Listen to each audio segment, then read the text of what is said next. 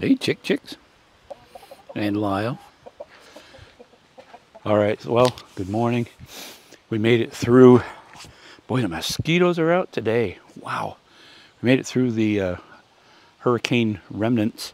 We got a little over four inches here. Uh, my my driveway handled it well. It it actually ended up. You can't really see much. The uh, there's a culvert two feet down, and the culvert got full so full of water, it was just running over the top, over the driveway. But anyway, that's where that's at. So today, I am going to go down into town, probably put my drone up and take a look at the flooding because it is really flooded down there. A lot of the roads are closed. Um, get that in a little bit. I wanted to go inside. Inside. I want to go inside and talk about the plum. Boy, mosquito. I want to get in out of mosquitoes.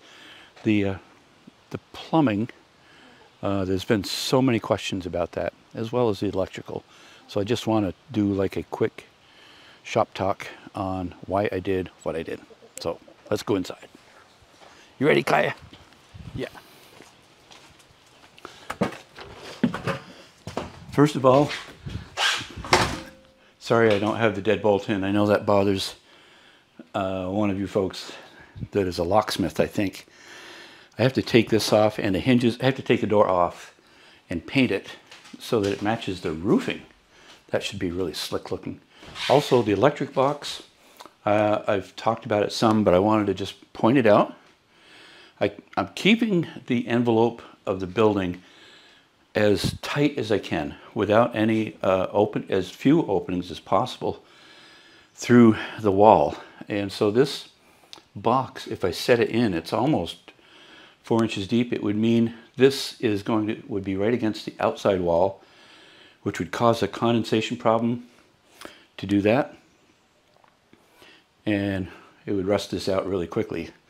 So that's why I did this. And then I'm going to frame it in I'll make a little door so that none of this will be seen.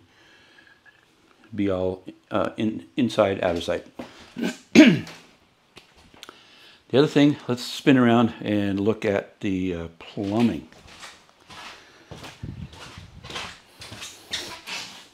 And the plumbing. I do appreciate your comments and thoughts. Um, there was some question about having the hot and cold on the right side. But this is not where the sink is going to be. It's going to be over here. So I had to I had to transition from the shower and as well as going out to to the water supply as well as getting over to the sink. So at some point these wires have to cross each other. But I pre-drilled these holes. Uh, let's see if they fit for half inch pipe. Okay. A little tappy tap.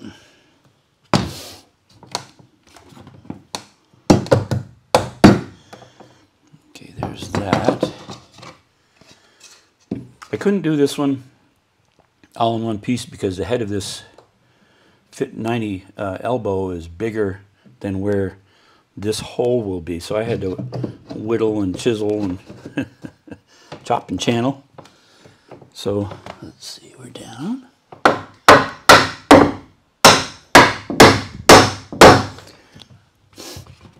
Looks like I've got to take just a little bit more here so that this gap will disappear. But uh, so what I wanted to talk about was uh, uh, some folks mentioned the sizing of drains and uh, the, some people thought a two inch drain out of a sink would be uh, the correct way to go. So I did look it up and uh, code here, it's inch and a half PVC to a sink. And what uh, the shower is two inch, which is code. And so this inch and a half goes down into a T, I think I showed it on another video, into the two inch so that the flow so they're all this. These are the only two water drain uh, setups in the building. So I have the half inch PEX which is all teed in and tied in and uh, goes down outside.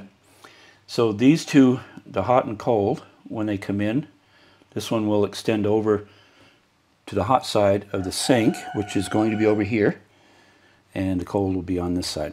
And the drain will come over here to a P-trap and so on to finish that off. So looking at why I feel comfortable with this, this, this is the sink faucet. So it's going to be over here. So if I was to turn it on full full bore, first of all, the, I guess the floor would get wet because I don't have a sink in here yet. But if I if I did, the flow rate is 2.2 gallons per minute, wide open, at 60 psi. So uh, this sink, it's a single bowl. It's a small one because it's in a tiny house. Um, so we're looking at 2.2 gallons, or if the sink was full, I think it might hold three gallons, possibly. The, the flow rate of an inch and a half pipe for drain is uh, about 17 gallons per minute. So we're looking at 2.2 or, or at the most three trying to drain it uh, quickly. This would easily handle that flow without any problem. The, the shower, uh, the flow rate for the shower head is about 2.7 gallons per minute full speed. Full, full power at 60 psi. The drain is rated, with a 2 inch drain, is rated at 30 gallons per minute draining. So easily, if you added these two at 2.2 the shower head at 2.7, we're only at, what's that, 4.9 gallons per minute flowing in and easily letting out 30 gallons per minute. So we're, we're well within the limits. I just wanted to, to uh, explain that without belaboring it. Uh, so that's where we're at. Now I'm going to, uh, I guess, I guess, I didn't realize I didn't quite have it good. So I'll just take a pencil mark Describe that. On the back side, this curves in so it, it impinges on that. I've got a back cut a little bit more, probably both sides. So I'll go do that, go do that and I'll be right back. And I'm using that floor pad. Love it. Ah, so I've been cutting and whittling. Ooh. Get through this part, and th this is the, uh, the hardest part, I think, of all the plumbing.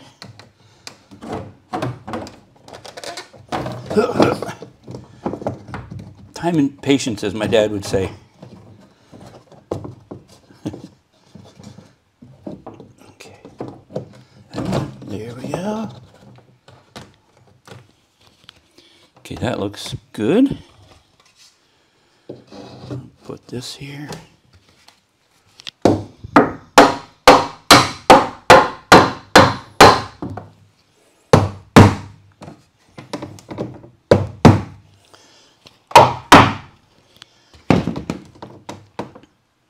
Great. Okay, that's perfect. So there's one other important thing I want to talk about.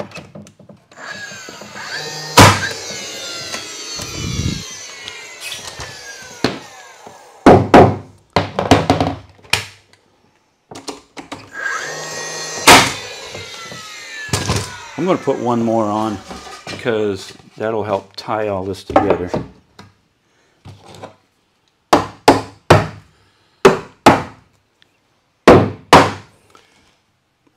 Perfect, perfect, perfect, perfect. Okay.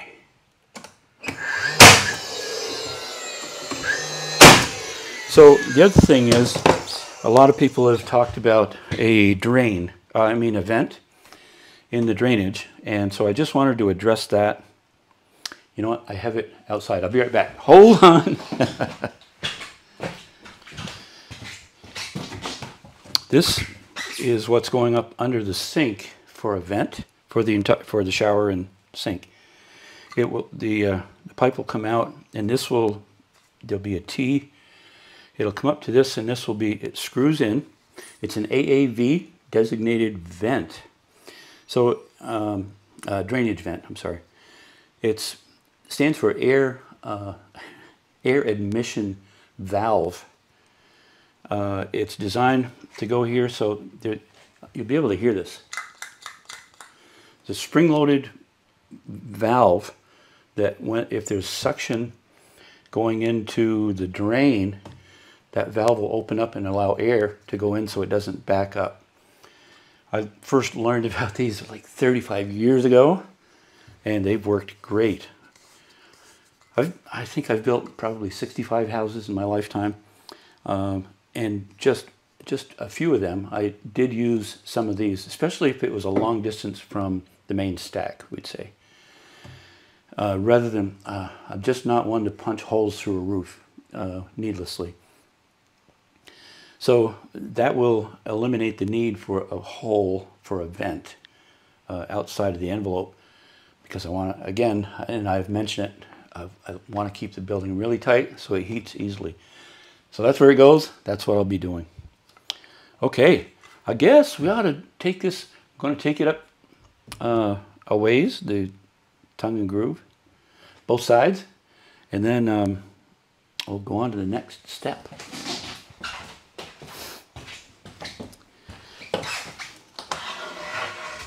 I took a, another, just a flat, clamp, flat uh, band and secured this from the back so that this is fixed. It won't, won't uh, move in or out.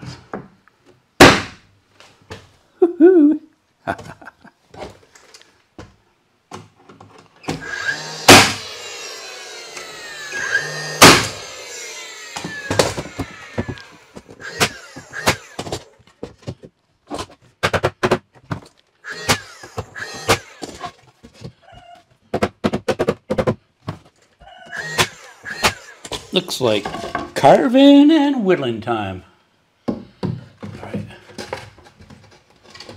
Okay, that outlet's going to fit right inside of this one, one board.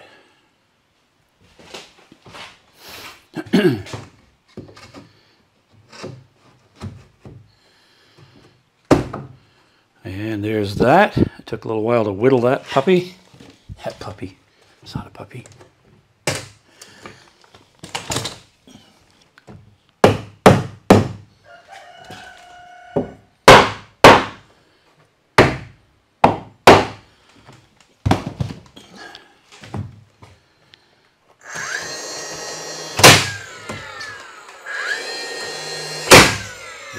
did it.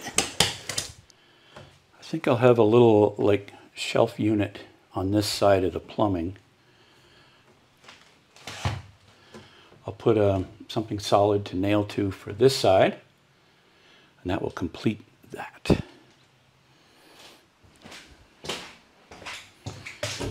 All right, so I cut a piece to go in here. I made a mark so I know right where it goes.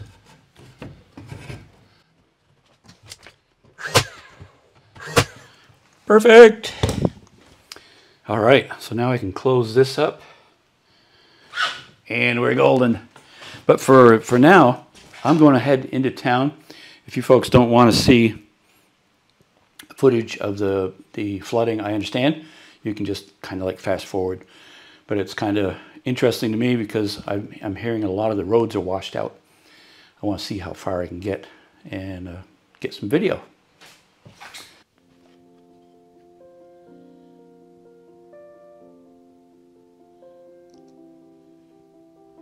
Well, we made it down to the uh, water in Lyndonville, and you can see the flooding. I'm just taking off here, getting ready to uh, just take a peek around.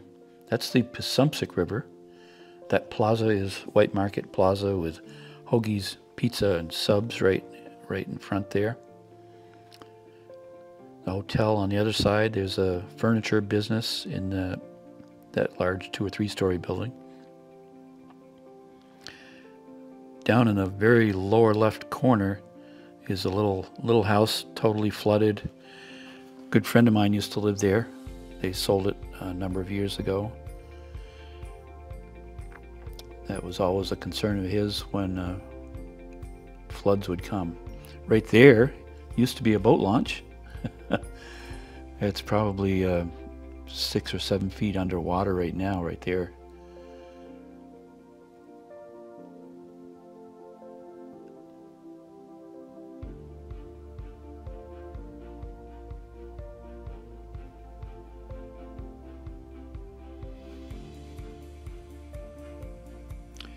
Over on the left is a scale shack where I weighed my tiny house. They're not flooded. So this, uh, I've canoed up and down this river a lot and it's totally run over its banks at this point. That road on the left is the back center road of Lyndonville, currently closed on uh, one end is flooded. That line of water you can see on the right is the railroad tracks.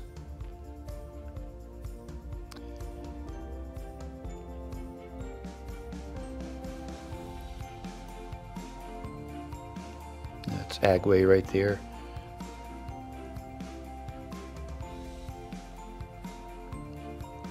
Right at the intersection there going right is closed to through traffic.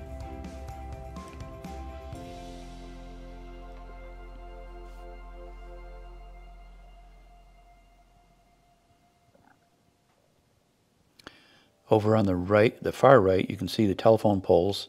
To the left of the poles is Route 5. It's the main road through Lyndonville. Currently not available. You can see Kinney Drug there. Uh, it's hard to see it, but there's a car buried under the water right there uh, in front of Kinney's Kinney Drug, and then the car dealership. Uh, a lot of their cars are underneath. Beyond Kinney Drug is um, Community Bank. That's where I would do my drive-up banking, but not today, I guess. Lyndonville Hardware, they're closed, they're flooded. All those stores, restaurants. That's a sewage treatment center. Currently out of operation, I would say. I don't know how they handle effluent from flooding. I, I don't know what ha happens to that.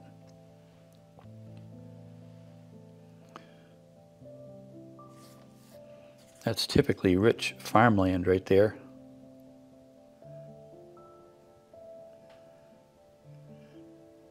This is headed south along the railroad tracks.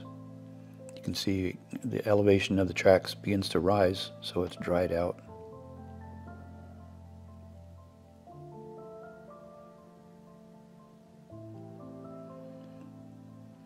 This is another view from uh, Lyndon Center side.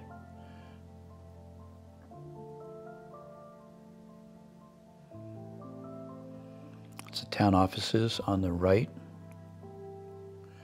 Bandstand Park on the right, and then we're moving over to uh, Powers Park in the center there. Pretty sure they're closed.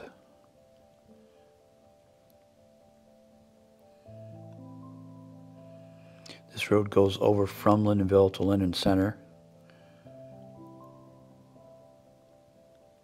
This area on the left, oh, I guess I didn't show it. It comes up in a minute. I'll show it to you in a minute. This, this is uh, the meadow out back. My brothers and I, we used to go down here during the spring when it was flooded. We'd make rafts and we'd just float around and play a long time ago.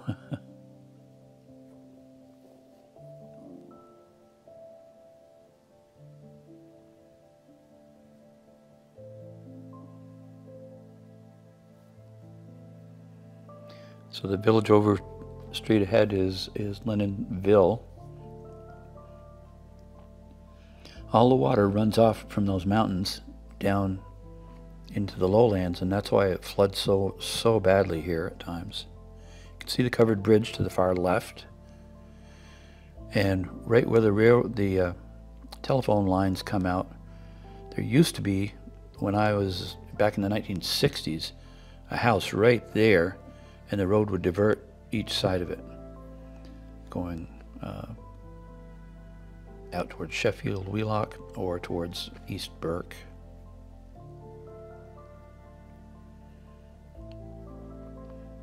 Don't think I've seen it this high since maybe the 1970s.